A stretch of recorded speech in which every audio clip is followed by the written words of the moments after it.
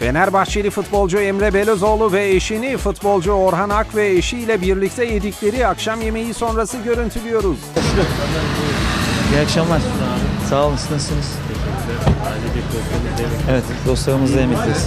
Gelinizle diyebiliriz. Onlar başka masadaydı, onların başka programı varmış ama biz başka bir sebeple Biraz buradaydık. yaşlı mı kaçtınız acaba? Yok biraz biraz şey kaldık biz onlara. Yaşlı kaldık dediğin gibi. Ya bir sakatlığın? İyi çok şükür yavaş koşulara başladım yavaştan. İnşallah bir devre arasıyla beraber iyi bir sezona girmek istiyorum. Nasip.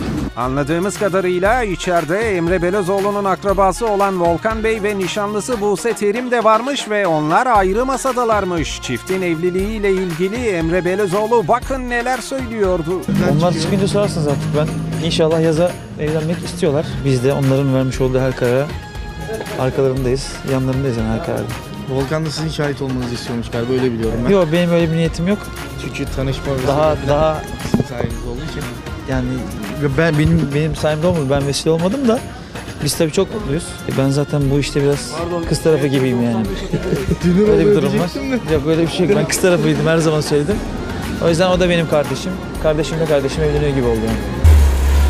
Görüşürüz abi.